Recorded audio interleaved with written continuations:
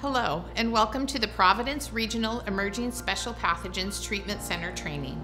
I'm Christa Arguinchona, and I'll be leading you through today's training.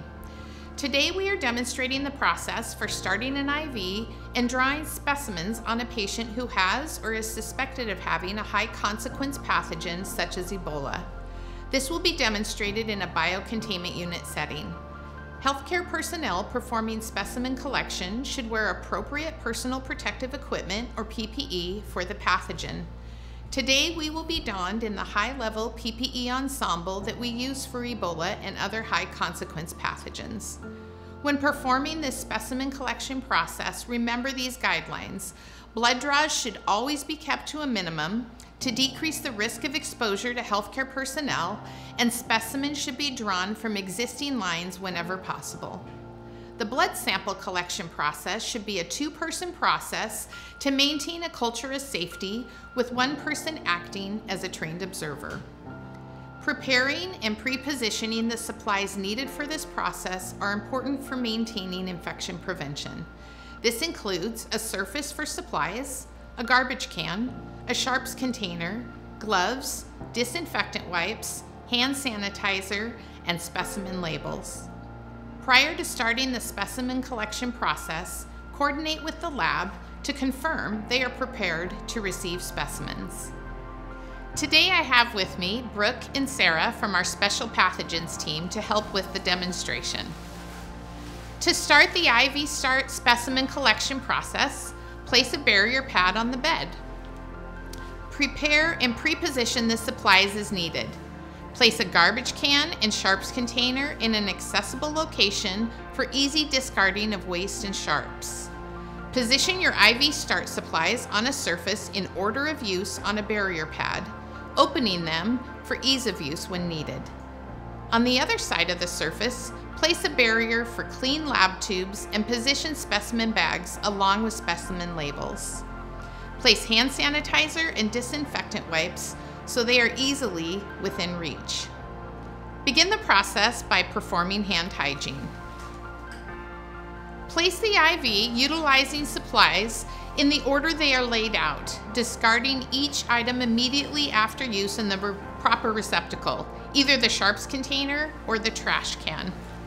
Have extra gauze and extra alcohol wipes to use for any drops of blood that may occur during the IV placement process. Once you get the IV placed, secure it.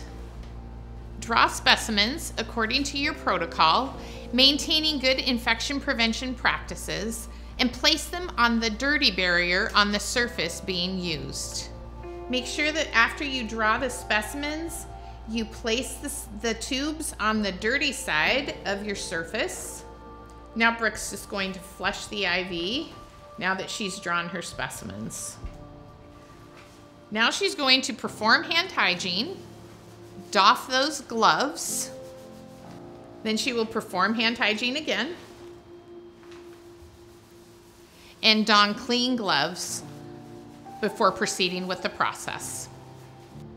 Next, Brooke is going to wipe the lab specimen tubes down thoroughly with disinfectant wipes, making sure to include the rubber stopper on the top of the specimen tubes. Once the tubes are disinfected, place them on the clean barrier and then perform hand hygiene.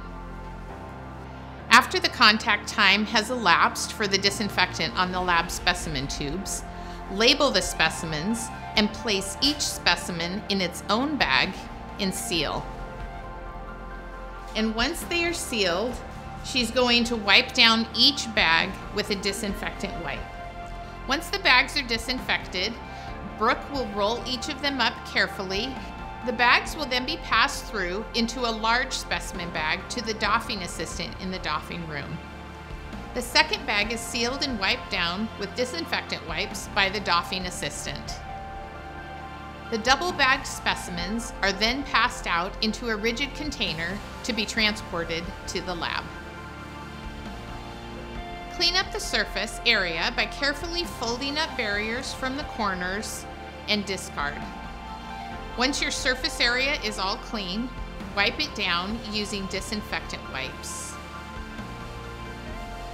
Once the disinfection is completed, perform hand hygiene, doff your gloves, perform hand hygiene, and don clean gloves.